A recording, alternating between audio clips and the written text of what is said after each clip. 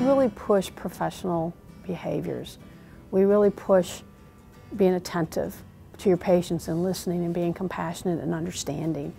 From what I hear from clinicians, that seems to take that people really like our grads. I did the exercise science route with a uh, focus in the clinical.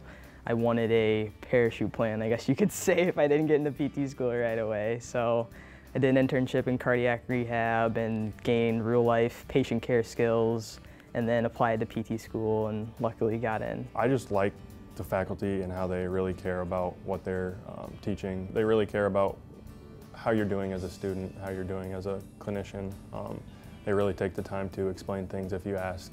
Everyone treated you like you were a person and not a number. That's kind of what caught my eye. We have a class of 60 students currently, and all 60 are together in the summer. They all get together to get to know each other. They also can take the anatomy class together, those kind of things. And in the fall, 12 of them will move to Houghton, Michigan in the Upper Peninsula, and that's where they take classes. This is an interactive simulcast, so they're in class at the same time. Students have to present in Mount Pleasant, cameras are on them, and when uh, groups turn in Houghton, cameras are on them. And it works really quite well. One of our missions in our program is to train therapists to work in underserved areas, and rural is it. And we are the most northern program in Michigan, so it was a really easy transition to add a satellite in Houghton because they are, really have a hard time hiring therapists to work in the Upper Peninsula.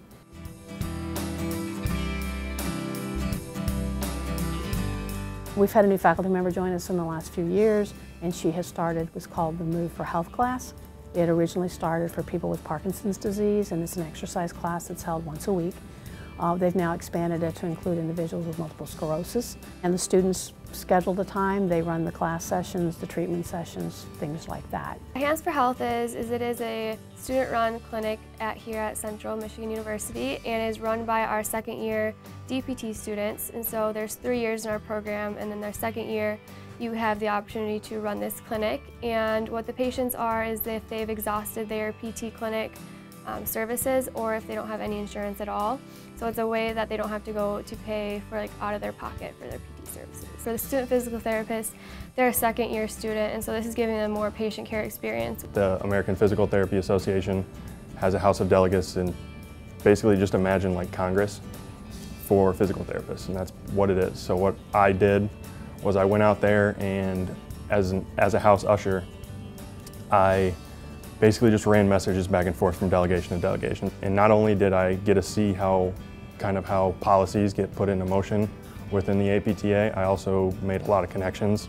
In order to get in the program, you have to do lots of job shadowing, and so I shadowed a various amount of clinics, and I've always found that people who had Central students, they always said that they were very prepared, they were very um, knowledgeable about, you know, just coming in as students, and when I came here, I can definitely see why.